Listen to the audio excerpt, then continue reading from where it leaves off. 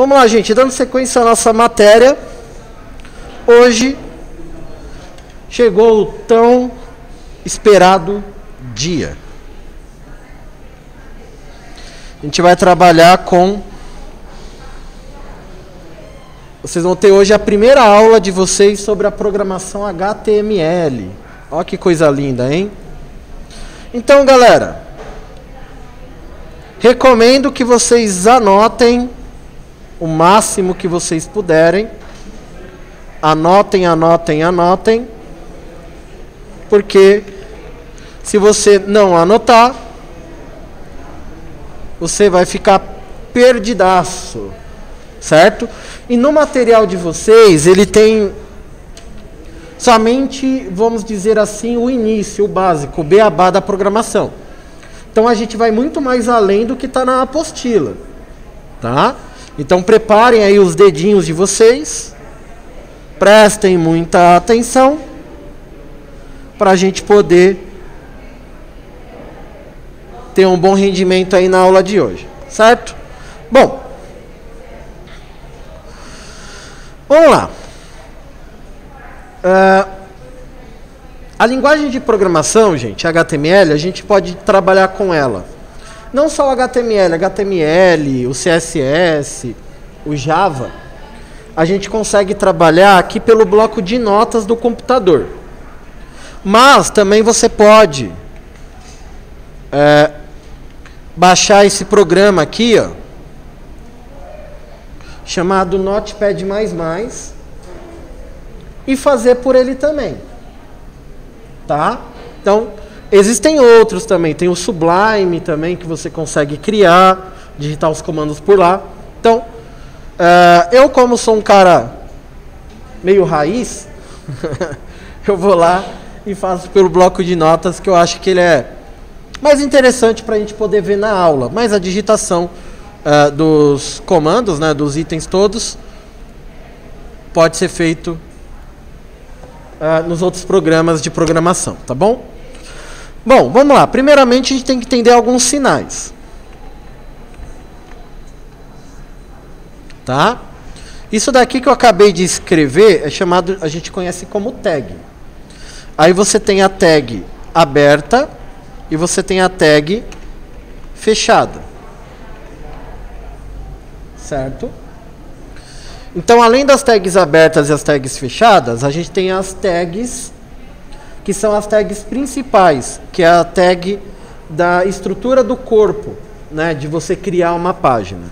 Então a gente tem a tag HTML, vou colocar aqui tags principais, principais. Uh, então aqui eu vou colocar a tag HTML a tag head, a tag title,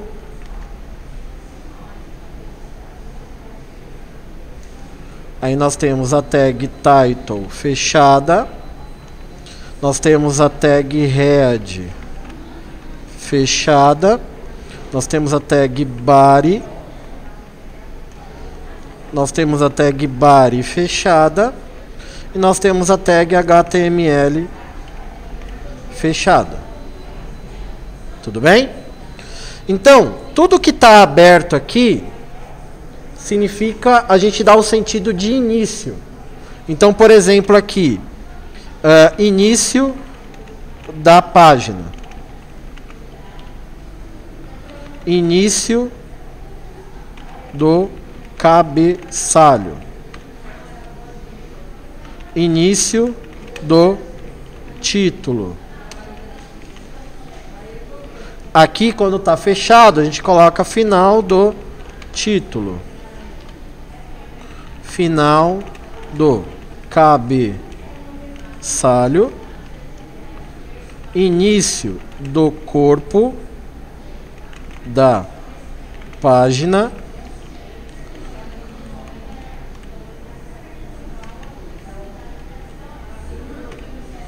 Final do corpo e final da página. Tá? Eu, eu, Ricardo, é, me, dou, me dou melhor aprendendo programação quando eu sei o significado daquele comando, tá? Por isso que eu estou detalhando para vocês aqui dessa forma, tá?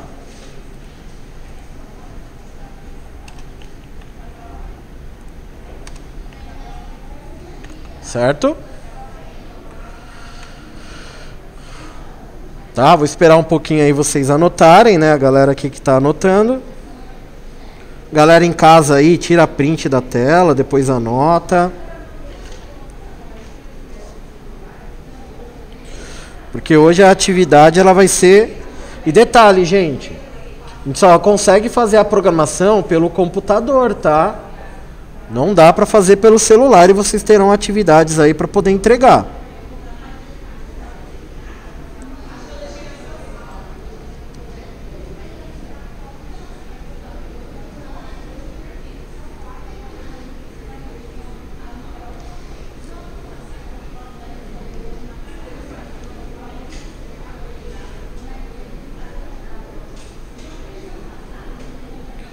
Pronto?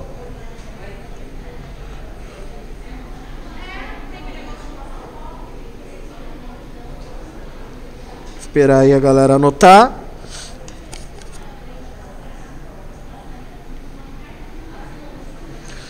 Pessoal, esses comandos precisam ser digitados na sequência.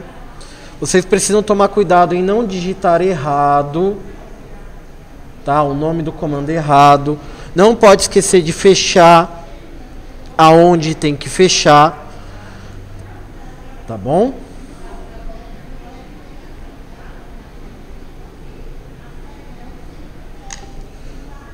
Pronto, gente? Pronto aí, pessoal? Anotaram, galera da sala? Vamos lá então. Então, isso daqui é o beabá, tá bom? Uh, uma outra coisa que a gente precisa saber. Depois que você criou, você digitou aqui os comandos, a gente precisa salvar. Tá? Só que como vocês estão acostumados a salvar os arquivos, você vai lá no menu arquivo, né? Escolhe lá a opção salvar ou salvar como. Não é isso? Escolhe o local que você vai salvar. Eu vou salvar aqui na área de trabalho. Eu vou criar uma página. Uma pasta, perdão. Criei aqui uma pasta. Eu vou colocar com nome e site. Vou abrir a pasta. Você vem aqui e dá um nome, não é? Sei lá. Ricardo. Relatório. Você dá um nome. Quando você começa a trabalhar com sites, se a sua primeira página, você está criando a primeira página, uh, você precisa pensar que essa primeira página é a página principal do site. Então, quando você entra no site, vou abrir aqui um site aqui, ó, uh, o Terra. Vou entrar no Terra aqui. Ó. Essa primeira página aqui, tá vendo? É a página principal do site. Então, essa página principal, eu tenho que dar um nome que é um nome padrão. Por quê? Porque esses arquivos, eles precisam ser depois, é, para ficar no ar, né, para ficar na internet, para todo mundo ter acesso, a gente precisa publicar esse arquivo. Tá? Então o nome aqui da primeira página, por padrão, a gente dá de index. Esse é o primeiro nome que a gente dá. As outras páginas você pode colocar qualquer nome.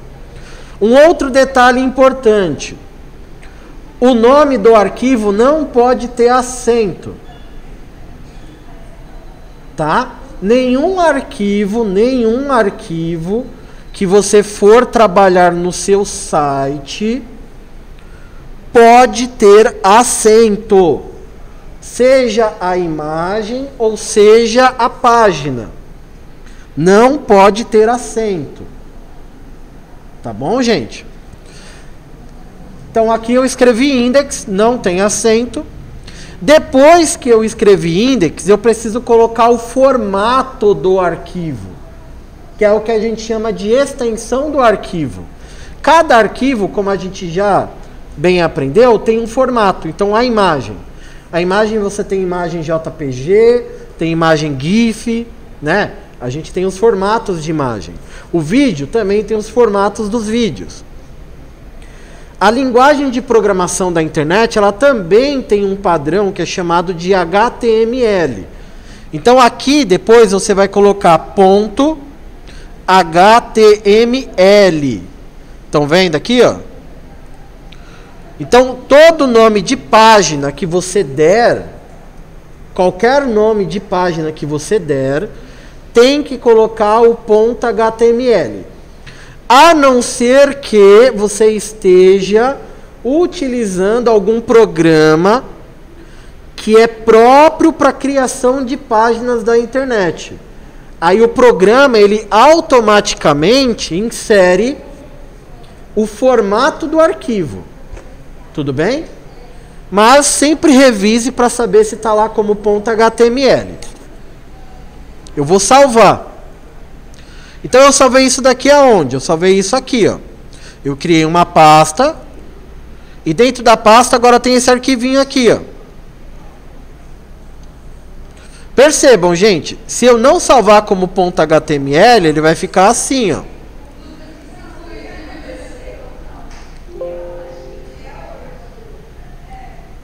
Deixa eu colocar, opa. HTML, vou colocar index 2, vai, só para Se você não colocar o ponto .html, olha como ele fica.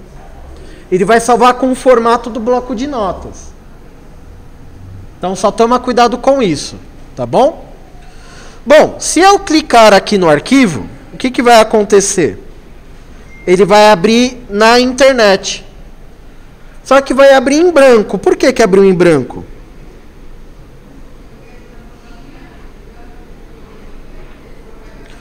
Abriu em branco porque eu não criei nada de conteúdo ainda. Eu só criei o corpo, só a estrutura. Então agora a gente vai dar a roupinha para ele. Né?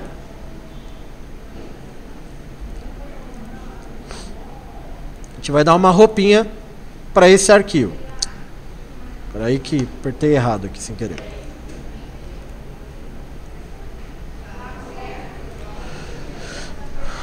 Bom, uh, vou abrir aqui o arquivo pelo bloco de notas. Tá aqui, né, o comando que eu digitei. Agora aqui no título, eu vou dar um nome para o, o cabeçalho dessa página. Por quê? Quando você entra no site, o que está aparecendo aqui? Ó? Terra, traço notícias, esportes. Tá vendo? Isso daqui, ele é digitado aqui, ó. Então aqui eu vou colocar criação de páginas HTML. Ó, percebam, gente, que o que eu criei, eu criei aqui, ó, entre um título aberto e o título fechado. Estão vendo? Não é para digitar aqui dentro o título, tá, gente? Toma cuidado, eu digitei aqui, ó. No meio deles, entre eles. Eu não fiz uma alteração, eu fiz uma alteração aqui.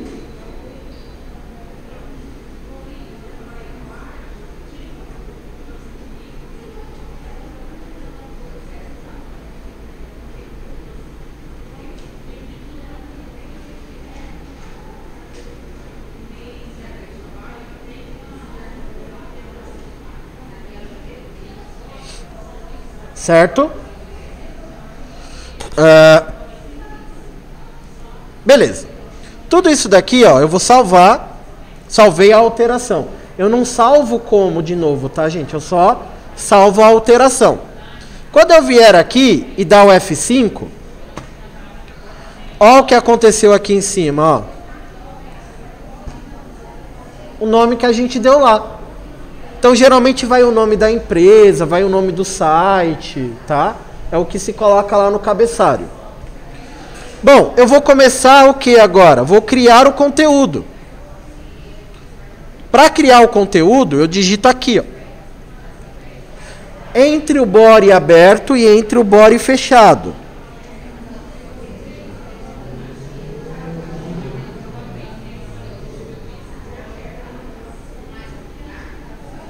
Tá bom? Esperando vocês anotarem, hein?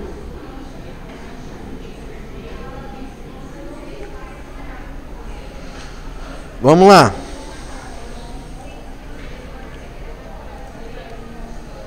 Então aqui eu vou colocar uh, criação, criação da minha primeira página. É o título que eu vou estar aqui, tá? Poderia escrever um texto enorme. Aí eu vou, eu editei, não editei? Eu vou lá e salvo. Quando eu vier aqui e apertar o F5, o texto apareceu ali. Estão vendo? Aí, por exemplo, eu quero aumentar o tamanho do meu texto. Existem alguns comandos que a gente usa para formatar o texto. Quais são esses? Você pode usar o comando H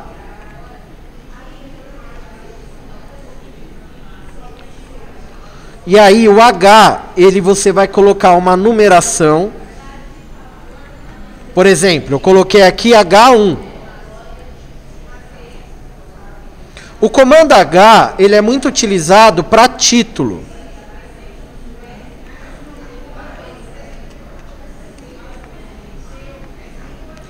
Então ele é o H1, H2, opa, H3, H4 e H5. Aí eu fecho o comando, tá, gente? É importantíssimo você não esquecer de fechar o comando, tá vendo? Eu abri o comando antes da palavra e lá no final da palavra eu tenho que fechar o comando. Tudo bem?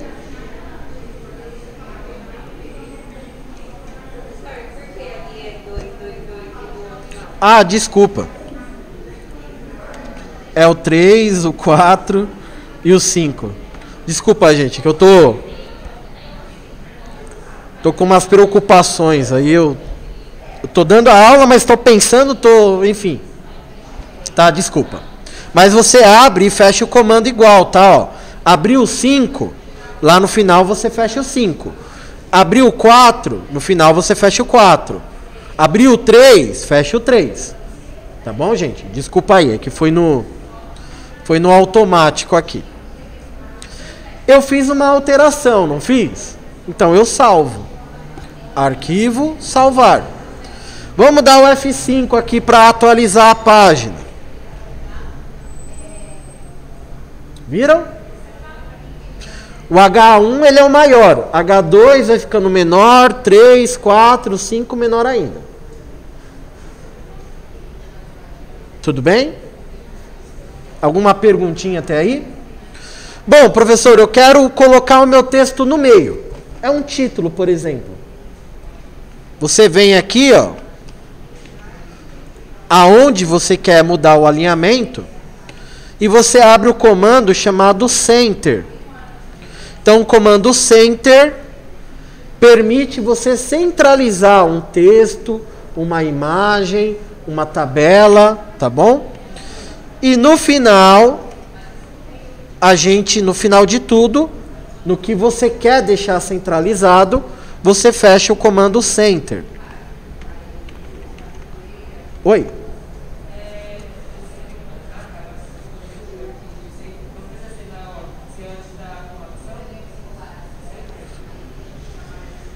Ele vai ser colocado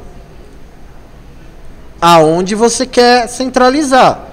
Eu não quero centralizar tudo isso daqui que eu escrevi. Então aí eu abro ele antes. Tá vendo? Eu abri ele antes aqui, ó. E aí eu tenho aqui o que eu quero que ele centralize. E aí eu fecho no final aonde eu quero que ele pare.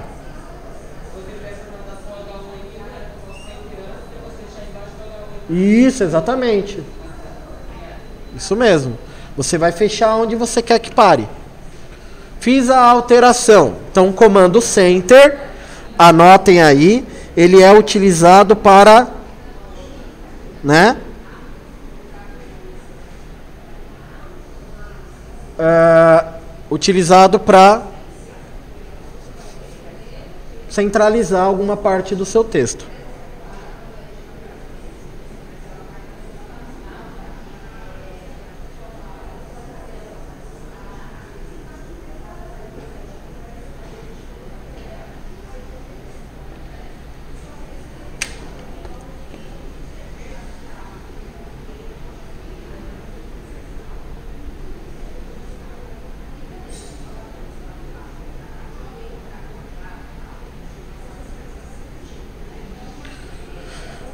Pronto, gente, anotaram? Vamos salvar aqui vamos ver o que aconteceu. Viram? Bom, uh, tá vendo aqui que eu tenho um espaço, né? Mas se você quiser aumentar esse espaço aqui entre uma linha e outra, você vem aqui, gente, e utiliza o comando BR. BR. O comando BR, gente, ele funciona como se fosse o Enter. Comando BR, tá? Ó. BR. O comando BR é como se você estivesse dando Enter no parágrafo, tá? Então, BR, ele serve para você aumentar o espaçamento, espaçamento, desculpa, de uma linha entre a outra. Comando BR equivale ao Enter. Tá bom, gente? Ó, vou salvar aqui. Vou dar o F5. Viu, ó? Que aumentou o espaçamento aqui, ó. Ó, vou abrir aqui BR. Vou colocar BR.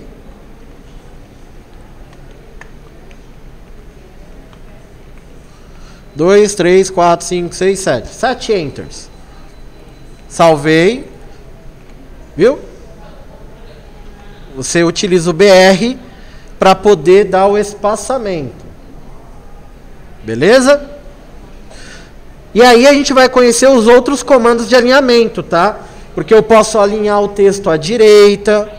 O alinhamento à esquerda já é padrão, né? Mas a gente consegue mudar os alinhamentos. Bom, a minha a minha página, né, como tá meio nublado, não tá pegando muito sol, né? Mas a gente pode colorir, né? A gente pode mudar. O branco aqui é o padrão, mas você pode colocar preto, vermelho, azul. Se você quiser colocar uma foto de fundo, também dá para colocar uma foto de fundo. Então a gente consegue personalizar, tá? Para você colocar uma cor, a gente tem que trabalhar com esse comando aqui. Ó. Esse comando, bari, quer dizer corpo. Tá? Bari, bode, enfim. A pronúncia é o que menos interessa para a gente. Uh, vocês vão ver durante as aulas que existem comandos principais e nós podemos, dentro desse comando, colocar complementos do comando. É mais ou menos assim. O ser humano ele não nasce de roupa, né? Nasce peladinho, lá o bebezinho nasce peladinho, não é? Então o corpo dele lá não tem roupa. Aí você coloca lá no bebê uma fralda, né? Tem muito marmanjo também que acaba usando fralda, né? Então, né? Então você vai o quê? Depois coloca roupa, camiseta, boné. Você não vai colocando uma roupa em cima de outra roupa? O comando bari é a mesma coisa. Você consegue colocar complementos e consegue formatar. Então deixando a sua página mais bonita. Então bari. Aqui no bar, bar é um comando. Ponto. Só que dentro dele, dentro da tag, eu posso colocar um subcomando chamado bg color igual abre aspas. Gente, presta muita atenção, porque aqui é onde o pessoal erra. Mas por que, que o pessoal erra? Porque o pessoal anota. Primeiro anotou o body, né? Aí depois anota lá o BG color separado. E aí o que, que o pessoal faz? Vou colocar uma cor. Vem aqui fora do body e coloca BG color. Tá errado. É dentro da tag, tá, gente? BG color. Aí você tem duas maneiras de colocar a cor. Uma delas é colocar o nome da cor em inglês. Ou você vai lá no Google e pesquisa lá tabela de cores HTML.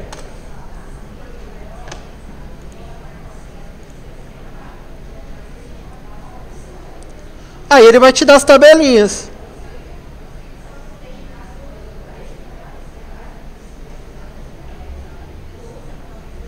Tá vendo? Ah, eu quero essa cor aqui, por exemplo.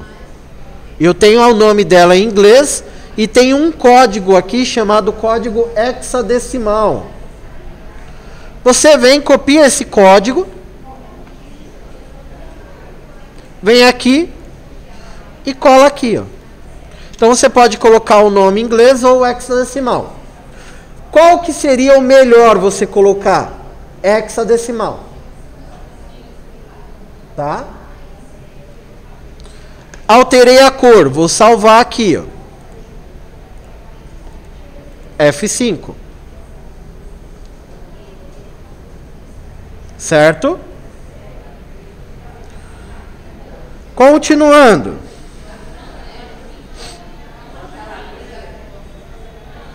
Opa, tô voltando aqui.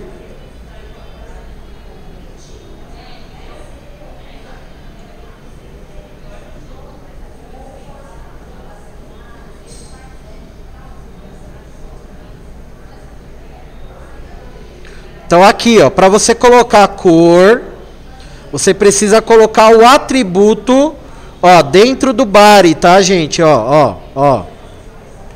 Ele tá dentro da tag. Não esqueça que a tag, gente, é aquele sinalzinho de maior e menor, tá bom? Então, dentro da tag, você coloca espaço BG color, body, espaço BG color e põe a cor lá. Mas pesquisa a cor lá, a tabelinha, né? em hexadecimal. Tudo bem?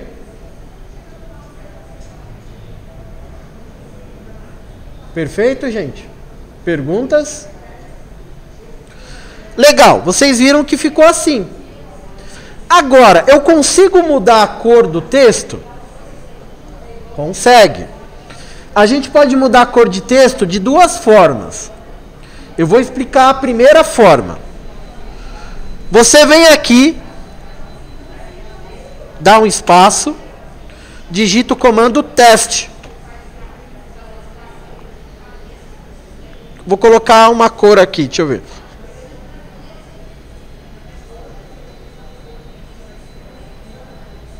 Pegar aqui o snow, né? Chique, né? Snow, né? Vem aqui e coloca o código hexadecimal. Pessoal, Lembrando, tá tudo aqui dentro da tag body, ó. Isso daqui é um subcomando. Isso aqui é um subcomando. Eles são separados aqui pelo espaço. Não é digitar tudo junto, tá bom? Esperar vocês anotarem.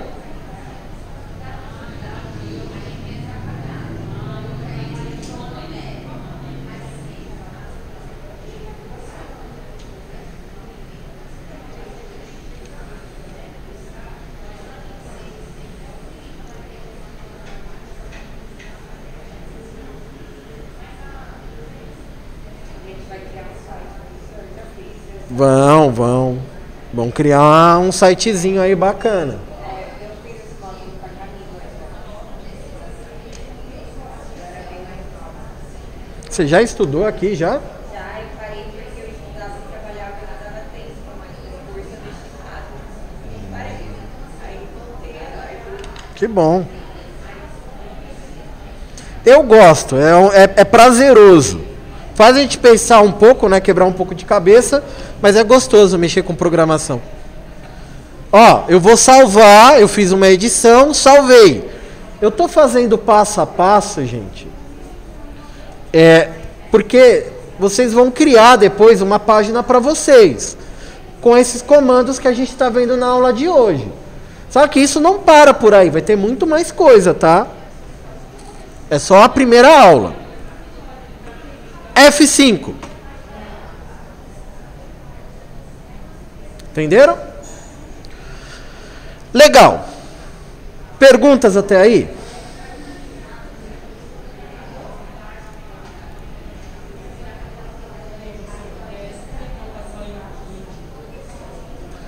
Boa pergunta. Ó, gente, perguntaram aqui. É, quando eu coloquei a cor, a cor ficou em tudo. Por que ficou em tudo? Porque eu coloquei aqui no body. O body não é o corpo? Então tudo que eu colocar ali no body, no corpo, vai ficar padrão. Eu posso colocar cada parágrafo, cada título de uma cor? Posso, a gente consegue. A gente já vai ver isso. Não hoje, né? Porque senão vai ficar muita coisa. Mas só para você entender que dá para pôr. Cada palavrinha a gente pode colocar uma fonte diferente, um tamanho diferente, uma cor diferente, tá? A gente consegue fazer isso. Bom, para a gente poder aqui meio que é, dar um, um finale bacana na aula de hoje, eu vou na internet e vou pegar uma foto.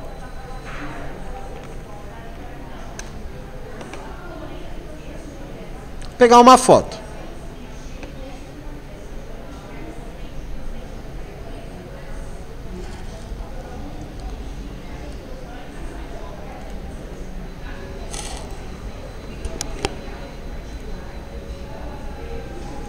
Pegar uma, eu tô procurando uma foto pequena, tá, gente? Por isso que eu tô clicando aqui, ó.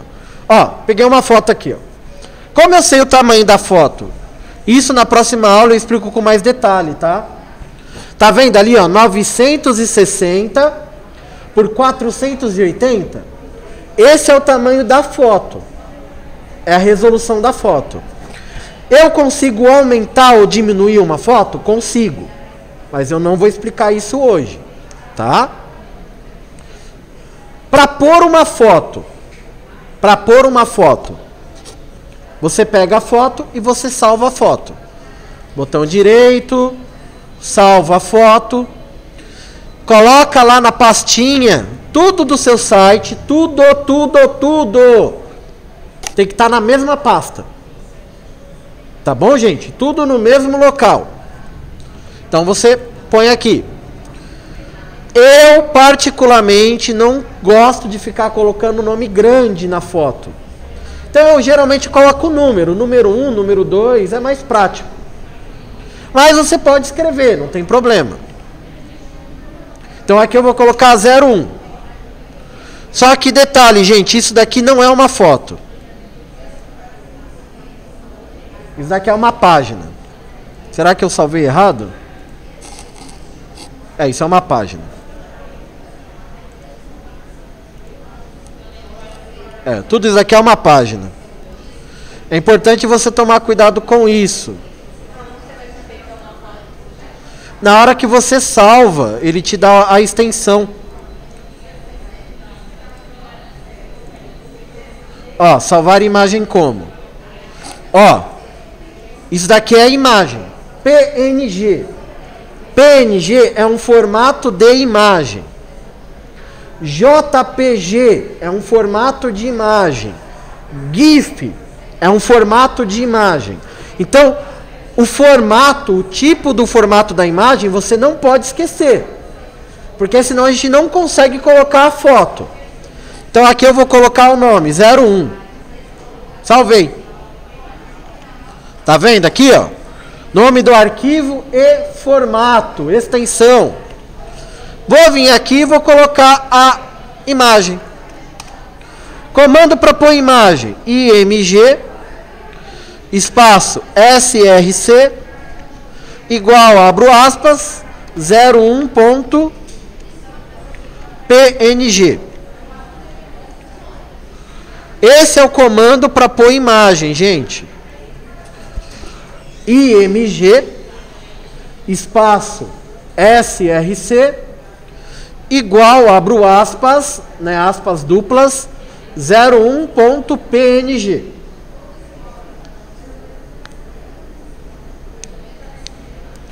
Lembrando que o nome do arquivo você pode colocar qualquer um e não coloque acento no nome do arquivo, tá?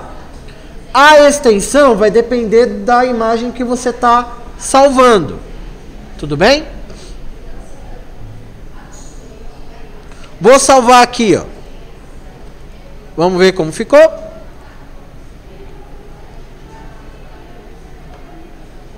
Ah, por que que ficou assim? Porque eu não coloquei a foto na mesma pasta, gente, ó.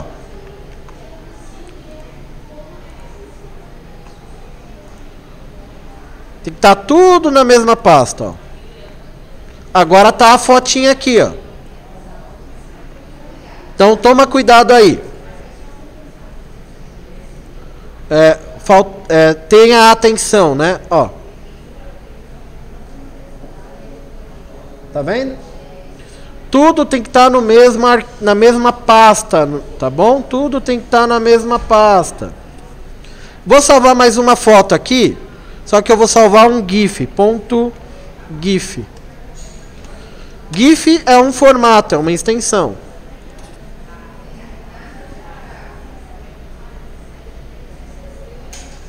Vou salvar aqui, ó.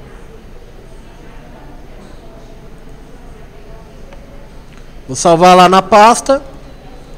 Vou colocar aqui 02. Ó, nome do arquivo e extensão. Tá Vou salvar. Vou pôr a foto agora aqui, ó. Vou colocar aqui em cima agora, tá bom, gente? Para ficar diferente. IMG SRC igual, abro aspas, uh, 02.gif. Tá vendo? É uma outra imagem, é outro nome de arquivo e é outra extensão. Vou salvar. Vamos ver como está ficando.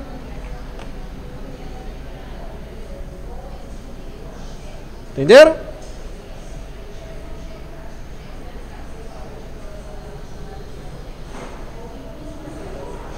Perguntas aí, gente?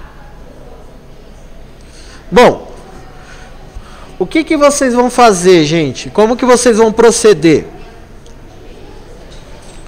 Vocês vão criar isso daqui. Você vai lá no seu computador, vai criar uma pasta e vai salvar tudo que a gente viu hoje. Vai abrir o bloco de notas vai digitar aqui essa estrutura, né, esses comandinhos que nós vimos. Tá vendo?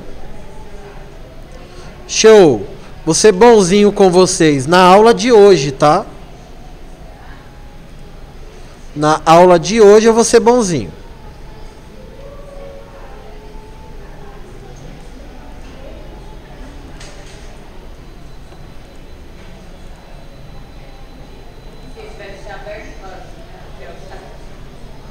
Eu vou dar um print.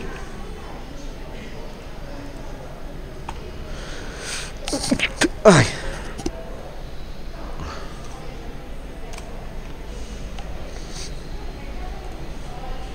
Todo mundo está na sala Google, né? Na, no Discord, né?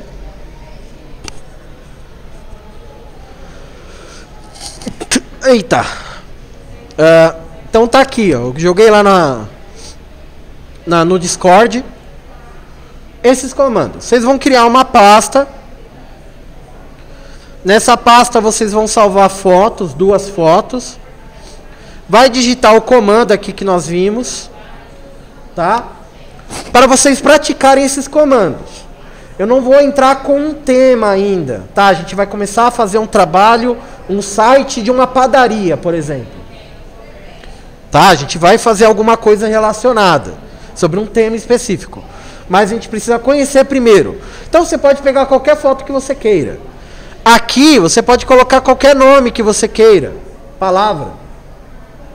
A cor aqui também você vai colocar qualquer cor. Tá? O título você também pode colocar qualquer título. Tá? Isso aqui é só um modelinho dos comandos para vocês praticarem e fazerem. Tudo bem? Vocês po... Na verdade,